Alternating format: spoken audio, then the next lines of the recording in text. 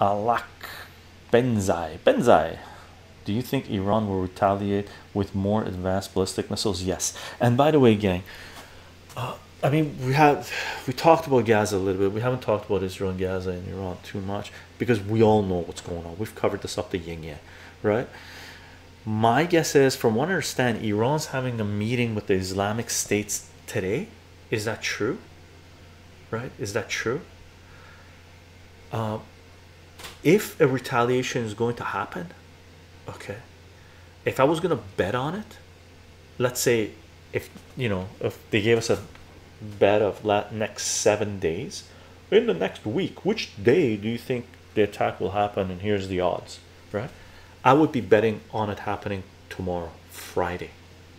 Okay, because in Iran, Friday, if I recall correctly, Friday is the holiday. On half Thursday, you get off, and Friday, you get off. So, if they're gonna do a fireworks show, they might want everyone to be home for this, right? Or maybe they do it when everybody's gone to work already, right? Where the military personnel are at work because they have to man the stations to do what they need to do, right?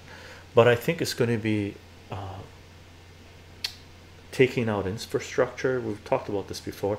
I think the smartest, uh, you know, I'm pro peace, I'm not for war or anything like this. But if I was waging this war, I would take out the ports and the airports, ports and the airports, at least one of the main ones of each, right? Shut down the country, right? So, my guess is they'll take out at least one port and maybe one airport, or maybe multiple ports, multiple airports. Okay, uh, and if I was in Israel, I'd be getting the F out, get out, get out. And if you're a full blown Zionist, please stay where you are. If you're a full blown Zionist in support of genociding Palestinians and torturing legally, to like what, like seriously, like we don't even need to go there anymore, right? We all know what Zionism, Zionist Israel is now. The veil was lifted a while ago for me, right? But it's lifted for everyone now. They're a genocidal, psychopathic nation, and in my humble opinion, all those Zionists that support Israel genocide, torturing, torture being legal for them to do against anyone that's not Zionist, not Jewish, you guys should stay in Israel. Please do not leave Israel. Okay. I would I would rather not have Nazis living near me. Okay. That's my personal opinion. Okay. Uh, I'm selfish in that aspect. Okay.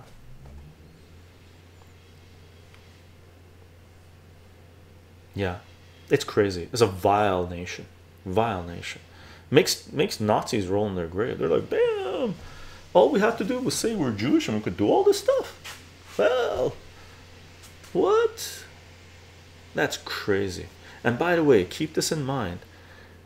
The people that are opposing what's going on in Israel, the hardest, the most vocal people in the Western world that are opposing the Zionist state of Israel and what Zionists are doing in Israel and what Zionists are doing in the name of Judaism or Jews.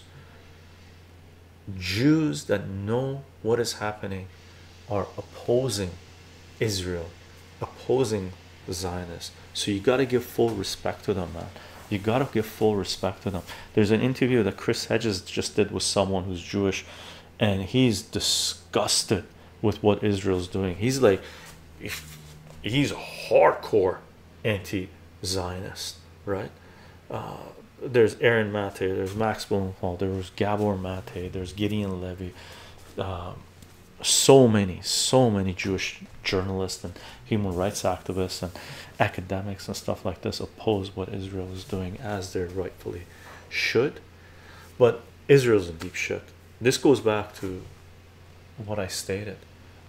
I don't think Israel will survive as a nation and unfortunately, I think the promised land might be Canada, United States for them. Really, Okay, I hope it's not. I live here. I don't want it. I don't want to be living under Zionist occupation. We already know what they do to those who aren't Zionists, right? I don't want to have things stuck up my bum, right? Because according to them, it's okay to do that to non-Jews, right? And that includes children, by the way. Zionist Israel, Israelis, Israelis. Let's wrap our heads around this.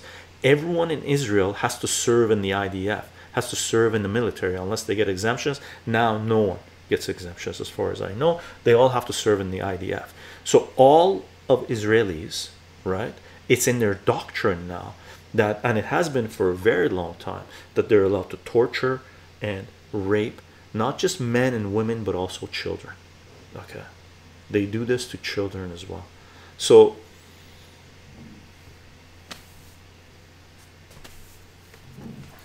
uh, what do you say to that shit? Right. Adam Hinden, as a Jew, I am disgusted by the Zionist entity and will not set foot in that land until Palestine's free for the from the river to the sea. Yeah, yeah. I, man, I, I, I have, I don't have any answers. I have no idea how you can, because majority of Israelis support this, right? Eighty-five percent. There was nine million people living in Israel, right?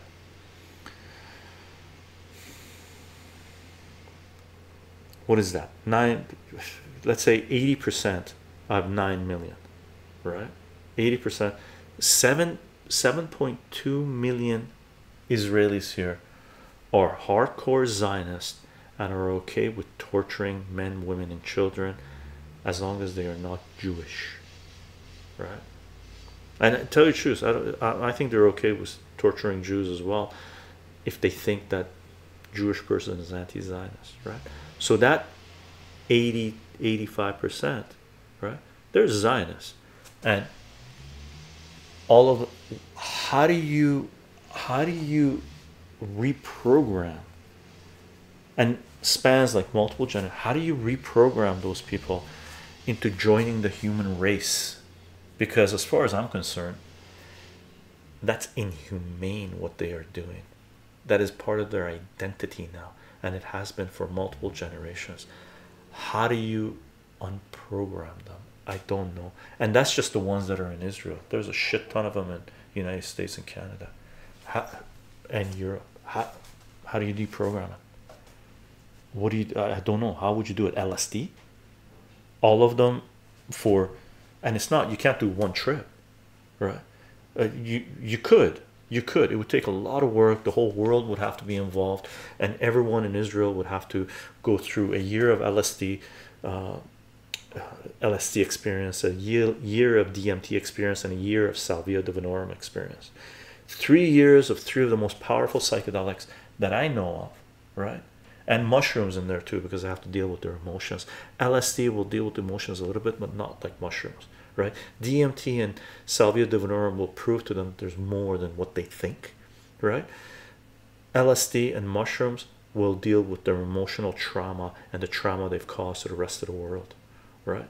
So four years of psychedelic hardcore psychedelic deprogramming required for 7.2 million people hell that's a great business model right I'd invest in a psychedelic company if that came to be right flood Israel with mushrooms.